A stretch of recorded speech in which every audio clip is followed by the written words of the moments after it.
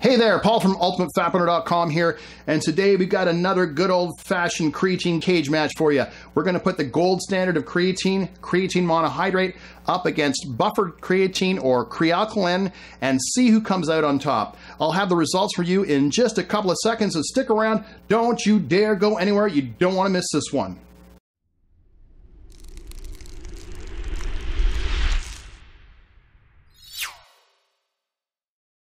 All right, welcome back. Thanks for sticking around. Okay, so in one corner we have creatine monohydrate, the gold standard of creatine. It's been proven effective in increasing anaerobic performance time after time after time after time in study after study.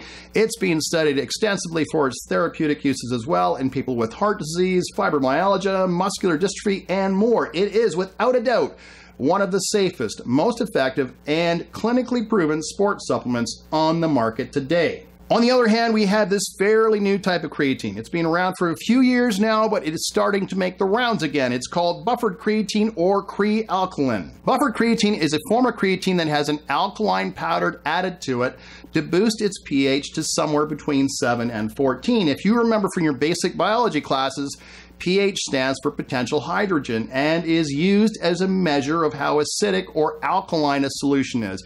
7 is neutral, below 7 is acidic, and above 7 is alkaline.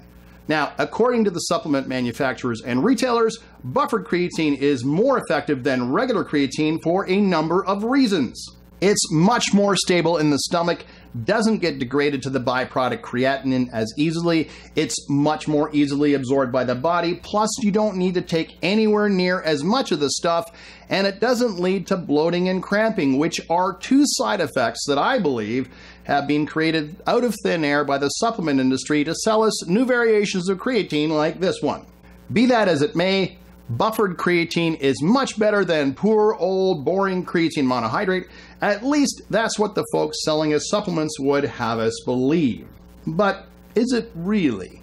Well, a study published in the Journal of International Society of Sports Nutrition in 2012 put that theory to the test.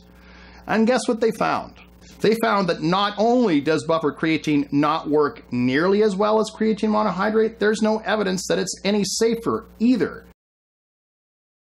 In other words, the claims made for buffered creatine are marketing spin only and not supported by any clinical evidence. In fact, the clinical evidence shows the opposite is true.